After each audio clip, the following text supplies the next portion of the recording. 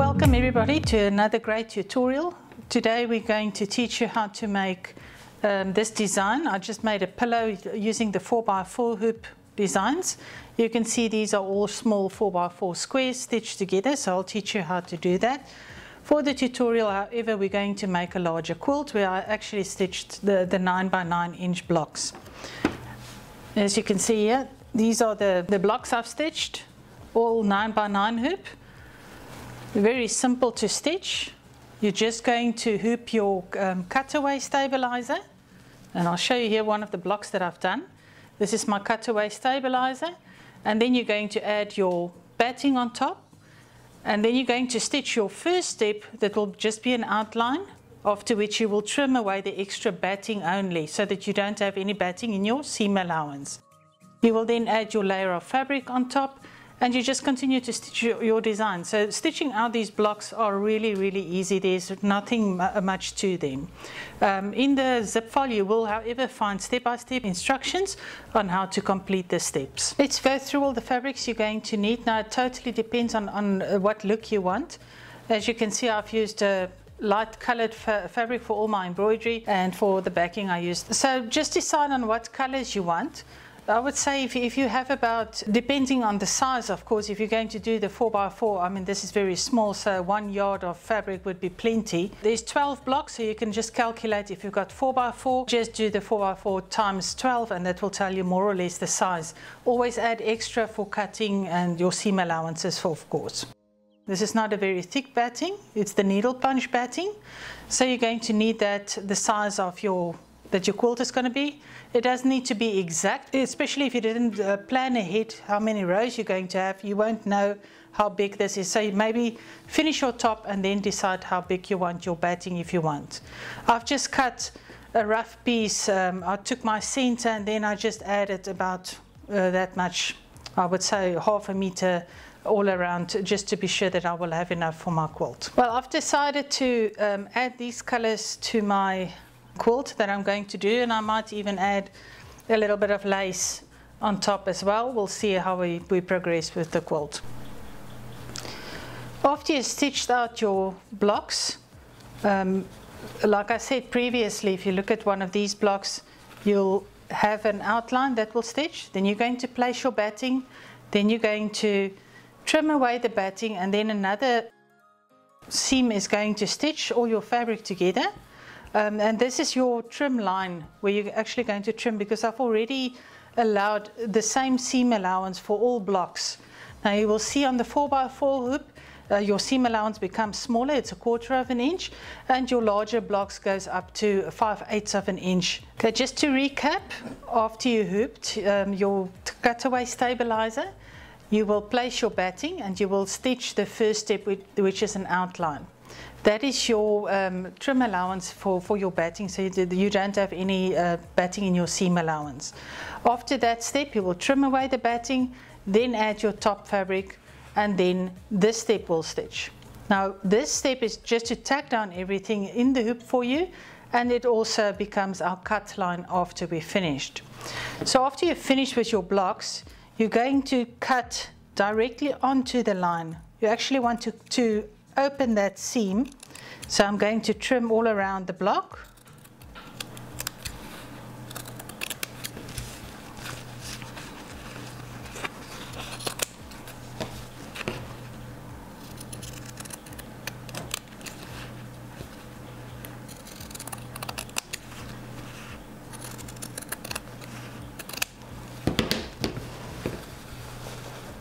And you can now just open it up and just give it a good press so everything lies neatly flat. For the 4x4 hoop, I allowed a quarter of an inch seam allowance um, and then it goes to for your 8 by 8 hoop, it becomes a half inch seam allowance, and for your 9 hoop, it becomes a 5, and, uh, five of an eighth seam allowance on the edges. But you can just place it under your machine and see how far from, from the edge you are if, if you are unsure at all. So I'm just going to go ahead and give this one a press and then we'll start assembly of the blocks. If there are any jumps, especially in areas where there was not an area that joined, you can just quickly trim that away. You can see I've got all 12 blocks stitched out and you can just lay them out so that you know which one follows um, according to which one. Uh, I can just mention perhaps um, if you are comfortable using a certain seam allowance on your machine, you can just turn your block the wrong way facing you and you can see the outline where we stitched in the past and you can measure from there and create your own seam allowance. That line you see is, is, our actual stitch line that we are going to stitch these blocks together. So from that line, uh, if you want a quarter of an inch seam allowance, just measure from there and trim accordingly. If you want half a seam allowance or whatever, you can just trim you uh, according to what your machine uh, does, just to make it easier for yourself. Okay, we're going to uh, start assembling um, this quilt now. Uh, we're going to do row by row and then I'm going to show you how to join the rows. So I want you to just place your three rows, or four rows, sorry, on top of each other and just keep them separate so that we can finish each row as we go along. So because we've trimmed all our blocks exactly the same size, assembly uh, is quite easy on these.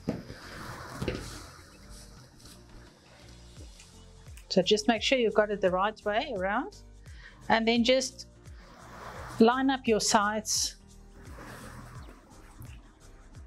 and using your wonder clips you can just pin them together or you can use pins if you like. stop.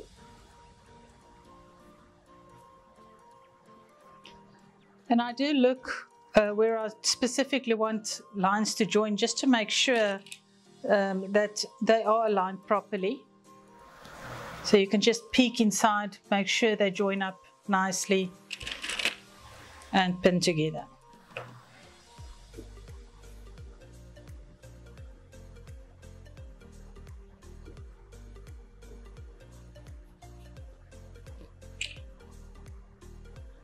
And you can now stitch on top of that stitch line, or actually just to the inside of it if you want, um, you can just stitch these two panels together.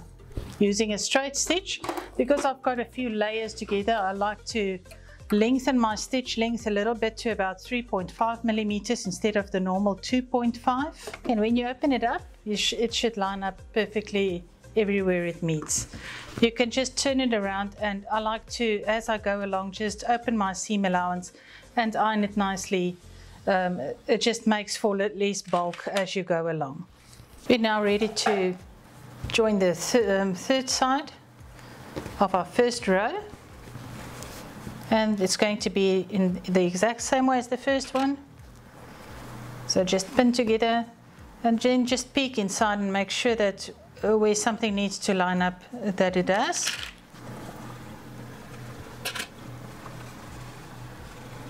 It should line up perfectly because we've cut our blocks all the same size.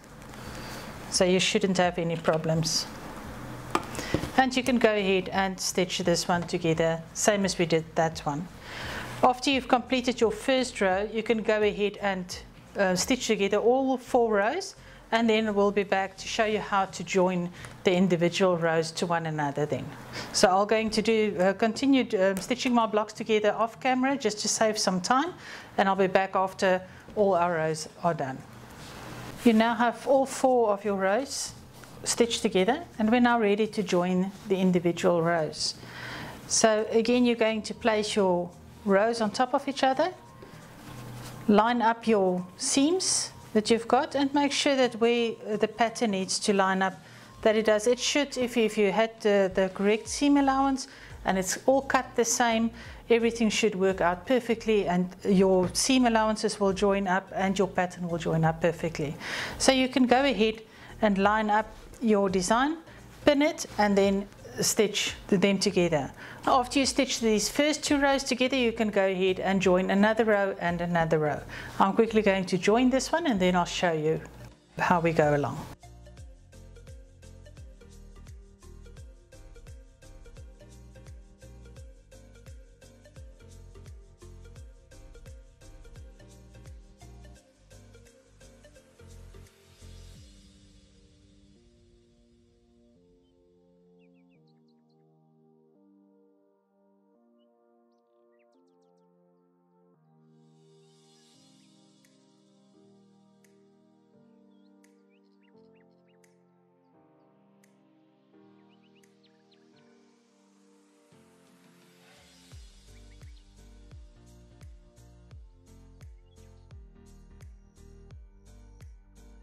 I've now finished stitching all the rows and all the blocks together so you can see the size of this one is roughly 24 by I would say about 27 inches at the moment. So you can make it as big as you want. Um, I am going to include uh, various hoop sizes.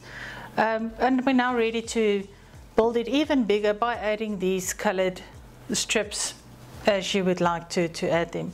I'm first going to add a green um, strip and then I'm going to add a blue strip and I might put my lace on the blue and then I'm going to add my butterfly fabric same that I've used on the pillow and I'm going to finish my quilt off with a blue backing and my binding is going to be these stripes.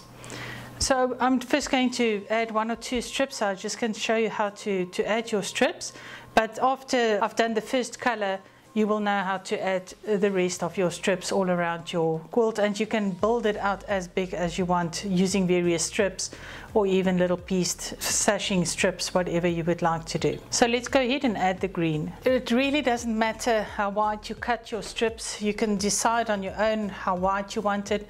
Even your binding, decide if you're going to make double fold binding or if you're going to make um, a single fold binding decide on how wide you want it, and just cut your strips according um, to the width that you want. So I've just cut roughly two inches. This one is just under two inches, and this one is three inches in width. And my binding, I've cut, um, I think it was roughly four or five inches, yeah, almost six inches, five and a half inches that I've cut my binding. So do decide on how wide you want to cut, and you can pre-cut all your strips as you would like. Now you're going to start with one strip.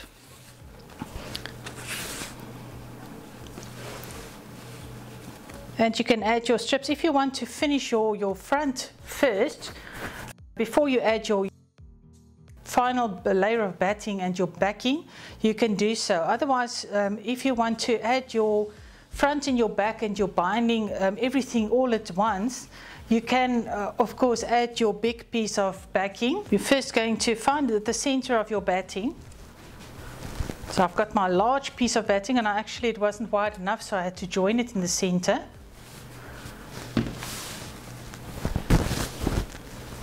So place your center of your quilt on the center of your, your batting. And you can see I've got quite a bit extra on either side, top and bottom as well. And that is to, because I'm going to add strips on the sides. And we can always trim it um, a little bit inwards as we go along. So always make sure that you've got plenty of space to play with and make your quilt as big as you want to make it. So I'm going to add my batting and I'm going to use 505 spray and just spray it and press it down just to keep everything together. And then I'm going to add my back fabric as well at the same time uh, so that the front, where the strips join, the front and the back is joined all at once. Okay, as you can see, I've cut my batting quite bigger than my quilt, and I've added a layer of batting behind the quilt, and then I added my back fabric. And I've sandwiched that together using 505 spray, which really helps it from shifting uh, while I'm going to stitch.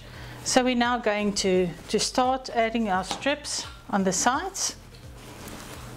So you can place your first strip and I'm just going to stitch a quarter of a seam allowance from the one side to the other side and then we're going to cut this off, um, iron it open and then we're going to do the next side.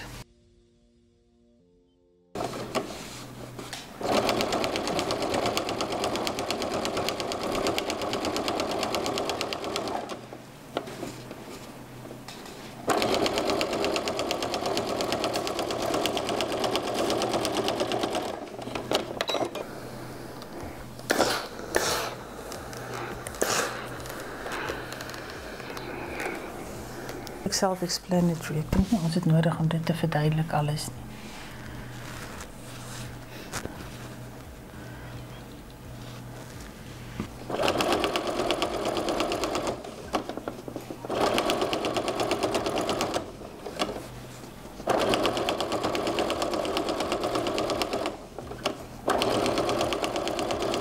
We're now going to add a blue um, strip and you're going to line up your blue fabric with the edge of your green fabric.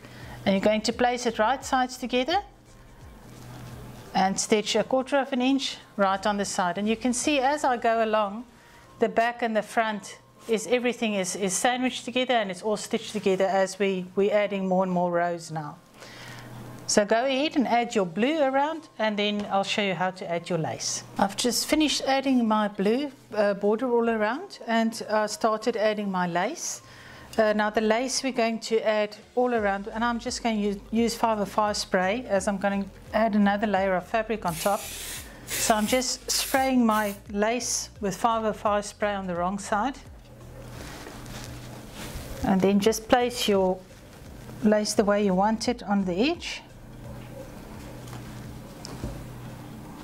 And the 505 spray will keep it in place so we can add our next layer of fabric. Now for my final fabric, I'm going to use um, the butterfly fabric that I've cut.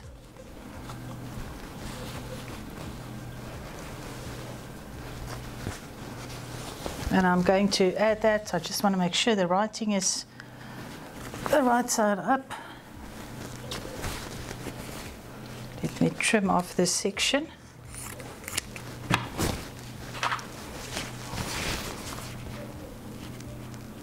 And I'm placing it on the edge of the lace, on the edge of the blue fabric.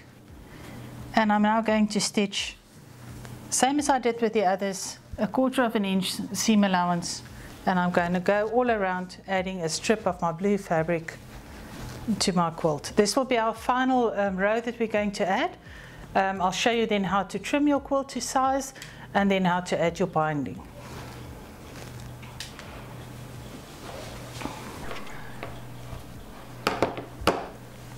We finished now adding the last row of fabric that I'm going to put around my quilt. I'm now going to trim my quilt, uh, the backing and batting, to um, the edge of my front fabric all around and then I'm going to just add my binding to my quilt. I'm just going to take my scissors and cut all around. You can use your rotary cutter as well. I'm doing a double fold uh, binding that I'm going to put on so you can um, pin your binding to the back side of your, your quilt. But remember to leave a tail so we can join it um, afterwards. I already have a few tutorials on adding binding to quilts, um, so I'm not going to go into depth um, on how to add your binding on this specific one. But basically you just pin to the back, then you'll stitch to the corner uh, about a quarter of an inch from the side, then take it back, fold it upwards, and fold it down. But I'll show you quickly just one corner and then I'll complete my binding. Um, if you want to know how to add binding, just look um, at one of my previous tutorials where I showed in quite a, a lot of detail how to add binding to your quilt. The link will be in the description.